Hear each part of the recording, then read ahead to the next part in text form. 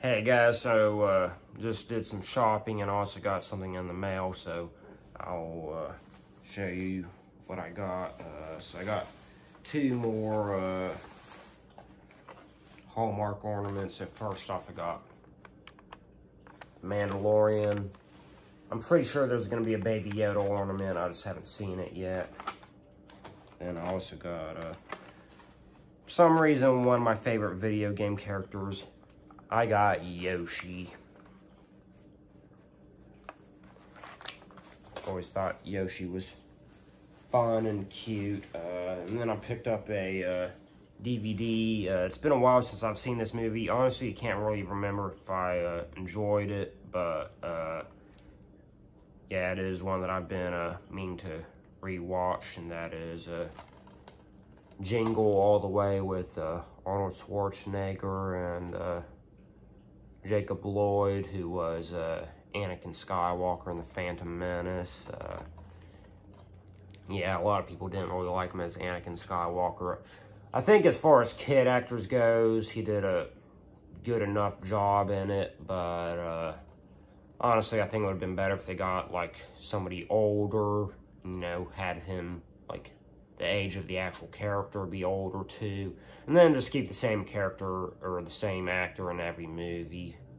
I think that would have been better. And just, you know, in general, a better actor. Uh, yeah, uh, this movie is about uh, this kid. There's a action figure that he really wants that's hard to get. So his dad, Arnold Schwarzenegger, uh, goes through crazy lengths to get it. And, uh, in the climax of the movie, spoiler alert for those who haven't seen it, he actually like wears the costume and like fights his rival. He's wearing the enemy costume and it's pretty funny. Uh, and then I got a uh, order from Shirt Punch, so let's get this one open.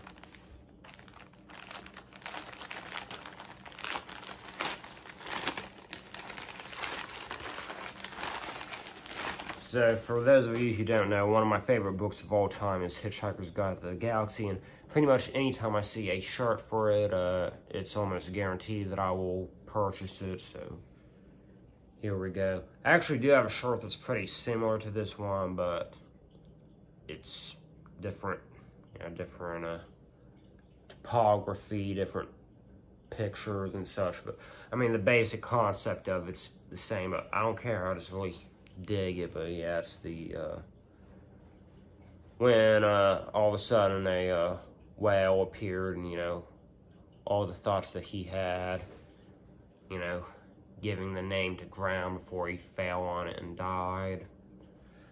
Pretty morbidly funny, so, yeah, uh, I'm still dealing with my sickness. Uh, I forced myself to go to work yesterday. I've used up all my sick time already, so that kind of sucks. So I just kind of forced myself to go to work. Uh, and it looks like we have another hurricane or tropical storm heading this way. Uh, hurricane Eta, I think it was called. Uh, now that we're in the Greek alphabet. A lot of them sound kind of similar, because uh, I think there's like Theta and Zeta, and now we're at Eta or Eta or whatever. But yeah, uh, hurricane uh, forecasts haven't been really the most accurate, I've noticed, because either goes to different place and or it hits at a different strength. Uh, I think originally it was uh, forecast to uh, plow through Mexico at a uh, Category 4 and then die out, which I think it did do that, but of dying out, it went back into the water, uh, and then it was forecast to uh, just kind of brush against Florida and die out about 100 miles off the coast from where I live. Now it's uh, forecast to uh, be plowing straight through Florida, and as a tropical storm, it'll go through my area, the on the left side, so that's fun. Hurricane season has been pretty ridiculous this year. So I'm kind of ready for that to be over with. So I'm making some smothered chicken. This is very similar to a uh, pork chop recipe that I make, but this time it's a uh, sort of a chicken version of it. Uh, so here's what I'm going to be using to coat my chicken. It's uh, two tablespoons of flour, a teaspoon of onion powder, a teaspoon of paprika, quarter teaspoon of cayenne pepper, and uh, salt and pepper. And uh, once I'm done cutting my chicken with this, uh, whatever remains I'm gonna just set aside so I can uh, use to make the gravy. All right, so now that they're all coated, uh, I got a uh, tablespoon of canola oil heating up on medium-high heat. And yeah, I'm gonna let them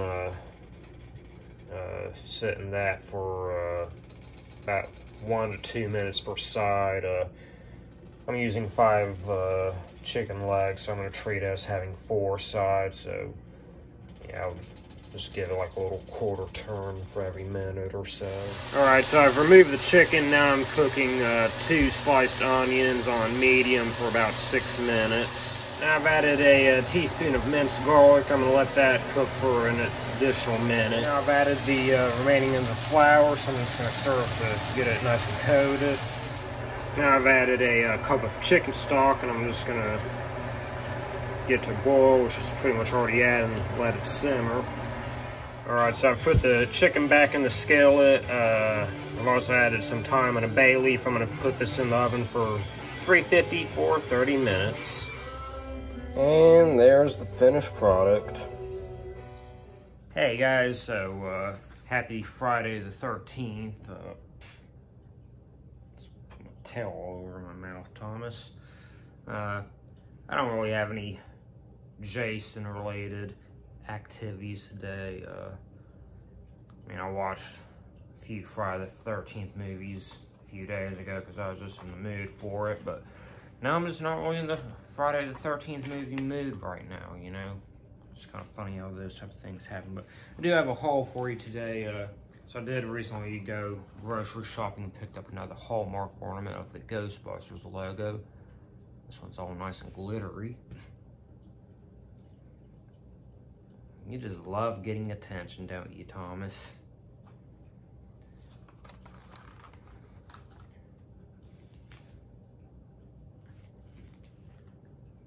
So sweet, Thomas. And uh, I also got a uh, another order in from uh, Culture Girl Flair, so let's get this one open.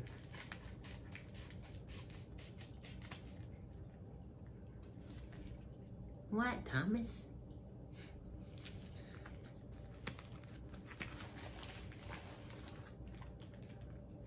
So, looks like we just got a pin, no extras this time, but this one is uh, Padme Amidala. I really like the way all the light shines on this, so let's get it out of the plastic so you can see it a little bit better.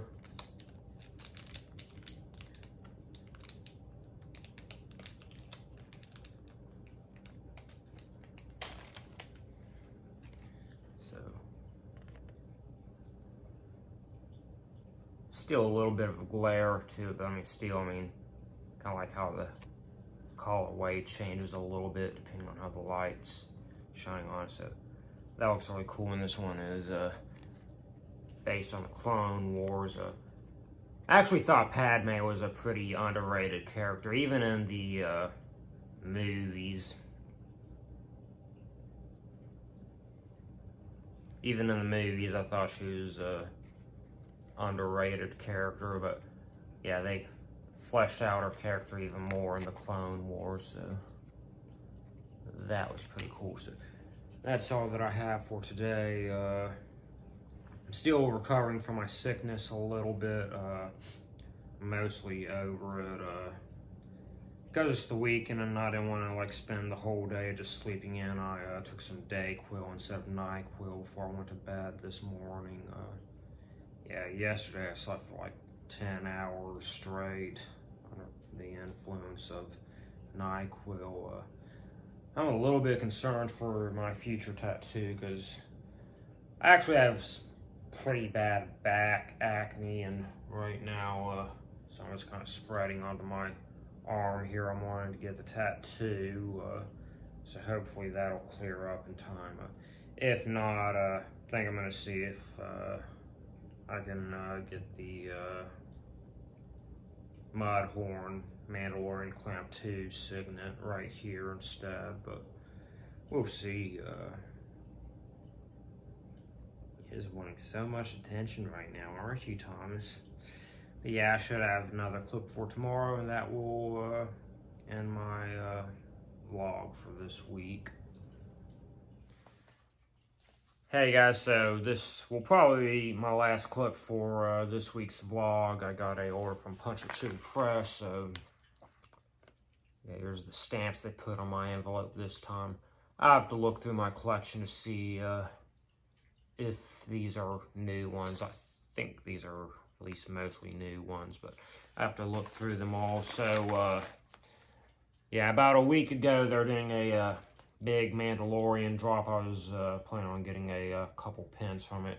But then they uh, surprised us all and simultaneously dropped a bunch of uh, Knights of the Old Republic pins. And uh, I like the uh, Mandalorian pins, but I was a lot more excited for the Knights of the Old Republic pins. So I decided to just kind of sit out on the Mandalorian pins for now ordered a bunch of uh, Knights of the Old Republic pins, but they also had some uh, uh, mystery B grade packs, mystery packs available again. So ordered one of those two. Uh, I actually did that on a separate order, but there was like a error in their store, so they uh, gave out free shipping codes. So I think they shipped them together but we'll see. I might be getting a separate order, but I think they shipped them together. Uh, yeah, I'm um, kind of hoping the uh, mystery B grades will be some Mandalorian pins, but who knows? Uh, that is, of course, a mystery. I've ordered two mystery B grade packs from them before. I like ordering mystery B grade packs from them just because and they're prominently Star Wars pins. They have a lot of cool pins, but, you know, it's kind of feel like a lot to really uh, be dedicated to them and get everything because they tend to drop a lot of pins at once. And I do see the Mystery B Gray pack is separately, but yeah. First one I got, uh, it was mostly pins that honestly I felt like weren't maybe necessarily their best pins out there. They were decent, but not the most exciting. The second one I got were some better pins. Unfortunately, they were mostly pins I already had, so hopefully this one will be, you know, pins that I don't already have. Uh, looks like I have a, uh, something else that's wrapped up in paper. I don't know if that's a separate pen, but I'll open that before I open my Mystery B grade pen, but I'll save that for next to last. So first up, we have uh, Bastila Shan from Knights of the Old Republic. I know there's a uh, chase variant of this, the dark side variant, but honestly, I like normal version better, so I'm glad I got that. But yeah, is cool. Uh, I was happy to see that Rey got a yellow lightsaber at the end of uh, uh, Rise of Skywalker. I was, for some reason, felt like yellow was a good color for her, but I was kind of anticipating she'd get a double blade lightsaber like Bastila for some reason, but it's cool either way. Uh, next up, uh, Got their business card, of course. Uh, uh, we have uh, Mandalore. Details aren't really showing up that great on camera, but it is still a cool pen. Uh, like the ancient Mandalorian armor that he has. So it's really cool in that weird axe weapon see, and it feels like we got one more pin. Okay, so yeah, there was uh, one older Mandalorian pin that ordered from them that I was just really digging. We got the armor with her forge ignited. So that's pretty cool. Uh, I think the uh, pen that's wrapped up in paper was a uh, larger pen that I did order. So this won't be a mystery. Uh, it's not some bonus surprise or anything, but yeah, this is a big pen. I believe it's like 3.5 inches or 3 inches or something like that. But yeah, we got a Revan, Malak, and Star Forge all together in one big pen. So that's pretty epic. So now to my mystery B grade. So yeah, I'm hoping it'll be pens I didn't uh, just get. Uh, I think they mostly put in newer pens in these, but I think they sometimes will sneak in some of their older pens that they still have in stock. So like I said, I'm hoping it'll be uh, Mandalorian pens and not Knights of the Old Republic. Or if it is Knights of the Old Republic ones that I didn't order. So first off, okay, I'm down with that. We got a TIE Fighter. Actually, it's upside down, but not really what I was expecting. But hey, I'm down with the TIE Fighters. Uh, and, uh, oh, got our first double of uh, Bastila. And lastly, uh, crap, forgot the name of this character, but, uh, Ugnaught character, always say is, uh, I've spoken. He's writing on his blurrgs. So that's pretty cool. There's a, some decent, uh, B grade pens that I got. I got to kind of look over them to notice what flaws or defects. So, yeah, I see some uh, scuffing on the little blaster effect down there on that one. Uh, this pen actually looks pretty clean to me. So I don't really know what's wrong with this one, but hey, I got at a discount price. Uh, this one, since I do have the uh, one that passed their grading inspection. With it, I guess I can compare it. Um,